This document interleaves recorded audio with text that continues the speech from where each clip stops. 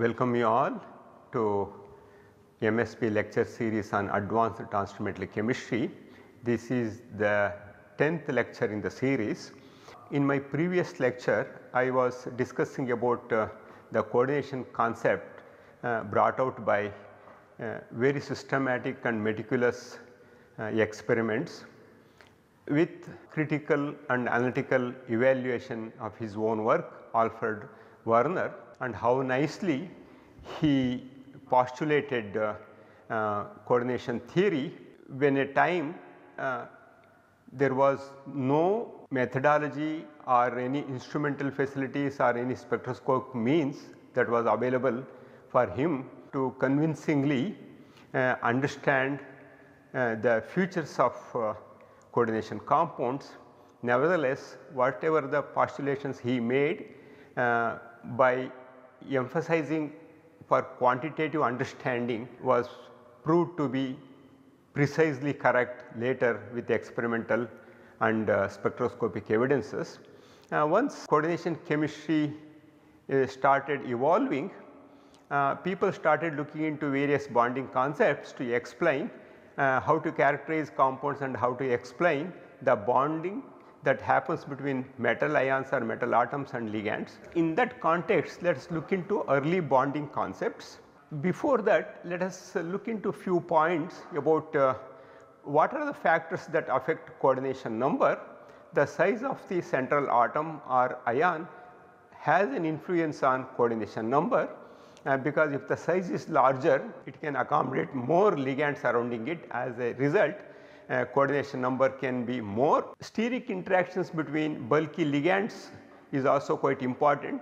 Uh, despite the size of the metal is appropriate to have 4 or 6 ligands, if the ligand size is much bigger like triphenyl phosphine, it is very difficult to accommodate 4 ligands. In that context steric interactions uh, are very very important and steric bulk of the ligands plays a major role in deciding the coordination number of a metal ion. Uh, the electronic structure of the metal atom or ion is also equally important. If the oxidation number is high the metal can accept more electrons from the ligands that is Lewis base because uh, it has more empty orbitals metals with many d electrons will have lower coordination number. That is the reason when we go for to late transition metals after d6 electronic configuration the coordination number the tendency to have less coordination number will be more pronounced compared to early metals which have a tendency to have a large number of ligands surrounding it. So, now let us look into some uh, uh, methodologies developed uh, to explain bonding. By that time coordination chemistry was evolving after a systematic understanding from Werner's coordination theory, uh, people began looking into bonding concepts.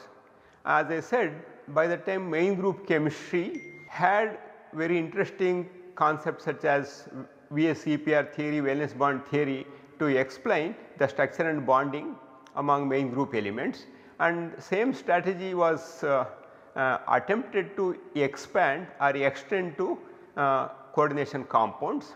In that context electron neutrality principle developed by Pauling is very very important. Pauling's electron neutrality principle is an approximate method of estimating the charge distribution in molecules and complex ions. What it states is the distribution of charge in a molecule or ion is such that the charge on any single atom is within the range of plus 1 to minus 1 ideally close to 0. So, that means uh, in a metal complex all species involved should have a charge between plus 1 and minus 1 ideally close to 0. This is what uh, the definition of electron neutrality principle. To test this principle let us consider one well known example hexammine cobalt 3 plus ion so, I am considering hexammine cobalt 3 plus ion. Let us look into first uh, covalent method. If you consider covalent method, we have 9 electrons in the valence shell that is uh, 3d74s2 and assume that 6 electrons are used for covalent bonding leaving 3 charge on cobalt that means out of 9 electrons from the valence orbital of cobalt utilize 6 for making covalent bond with amine or ammonia ligands so that 3 electrons will be left and that should be considered as 3 minus charge on cobalt. Uh, this is the first assumption using covalent model.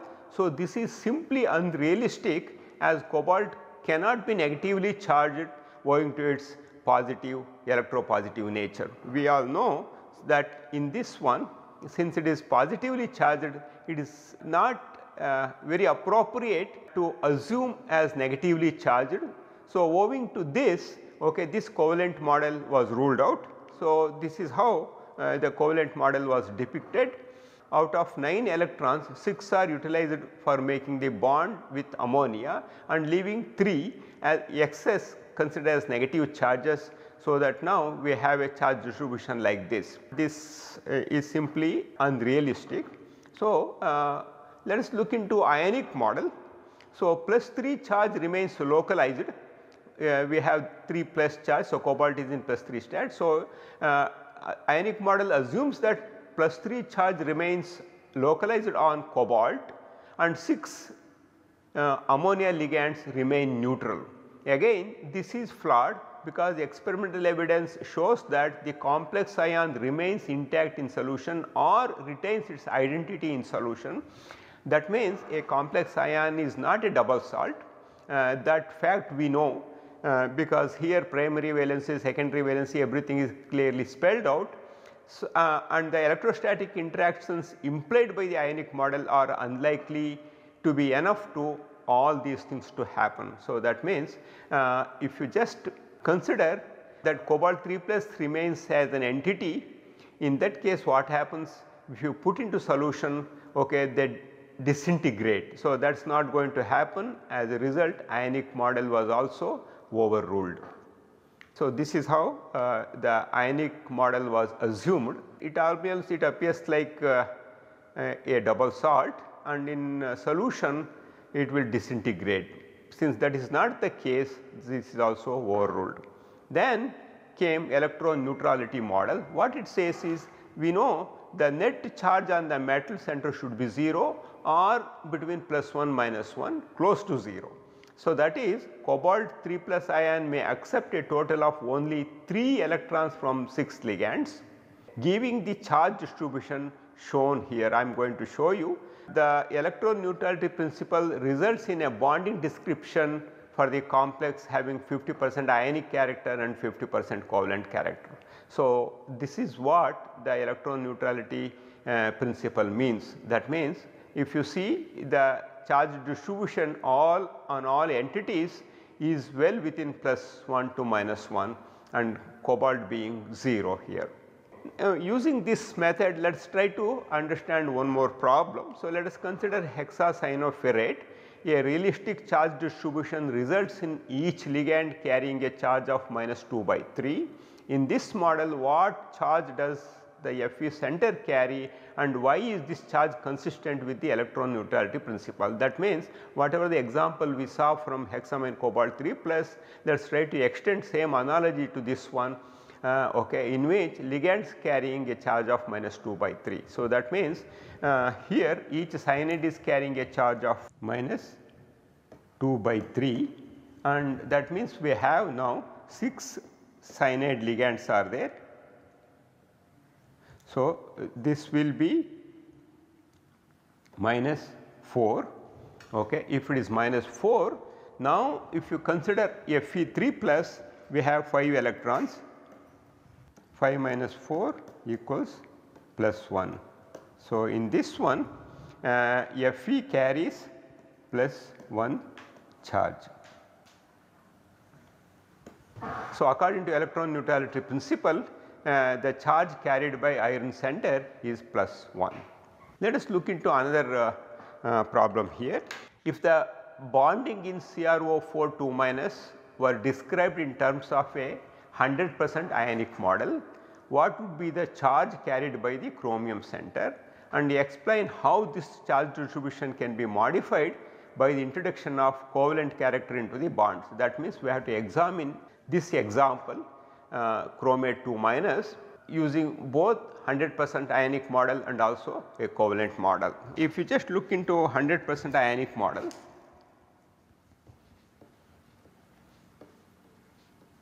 ionic model okay, the Cr O4 2 minus here charge will be minus 2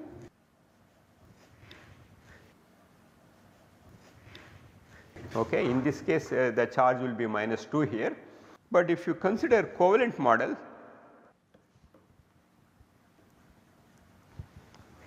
so 6 electrons are there and these 6 electrons are utilized in making 6 uh, metal to ligand bonds according to electron neutrality principle. In that case what happens number of electrons left on chromium will be 0. So, that here the charge on chromium will be 0.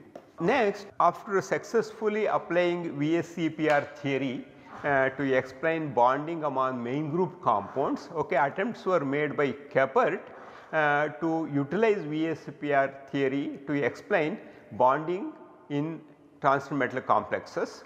So, for this one uh, following examples were considered and here like all 6 coordinated compounds, but having different valence shell electronic configuration were considered. For example, vanadium uh, 3 plus uh, has 2 d electrons and manganese 3 plus has 4 electrons and then cobalt 3 plus has 6 electrons and then hexo aqua, aqua nickel 2 plus has d8 8 electrons and zinc hexa aqua zinc okay here uh, we have 3d 10 4s2. So, 10 electrons are there. That means uh, we are considering examples of uh, vanadium, manganese, cobalt, nickel and zinc having octahedral geometry homoleptic hexa aqua compounds, but having different electrons left in their d orbitals. That means d2, d4, d6, d8 and d10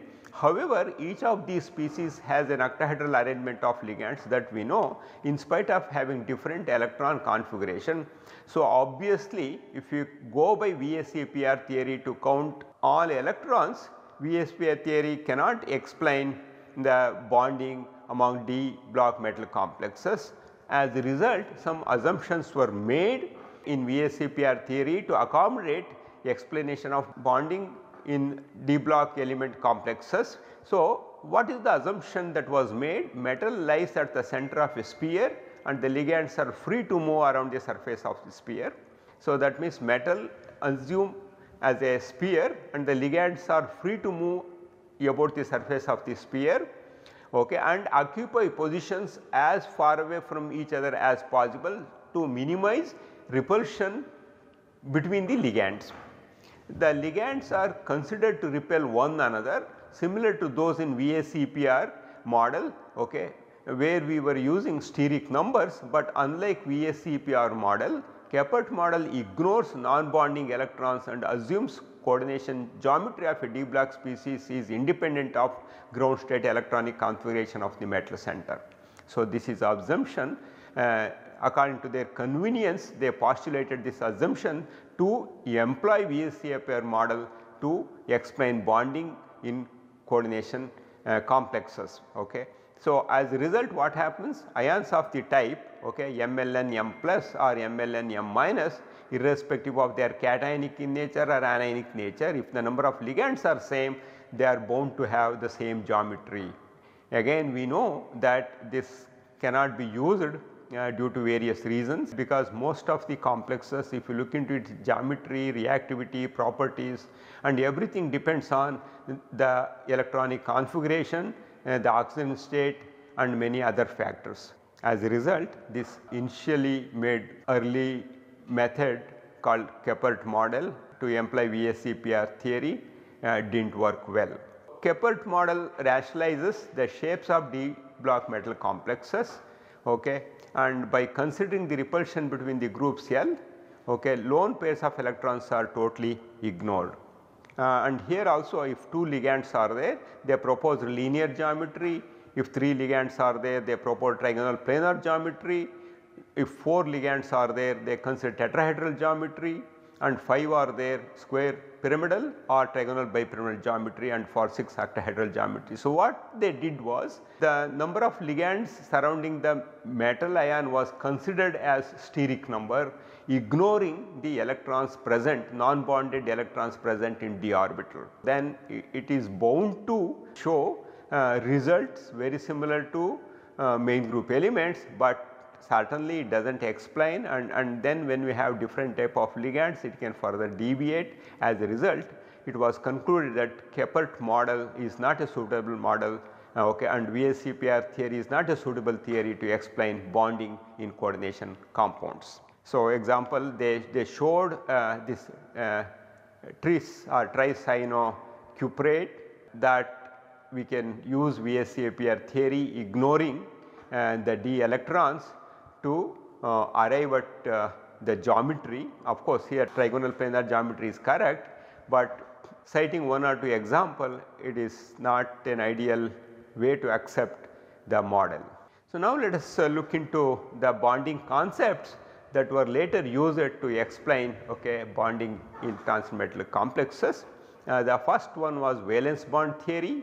It was proposed in 1930 by Linus Pauling uh, and he brought hybridization concept to explain bonding and also a couple of properties and uh, using this bonding he could explain inner orbital complex, outer orbital complex, similarly high spin complex and low spin complex and only spin only magnetic moment.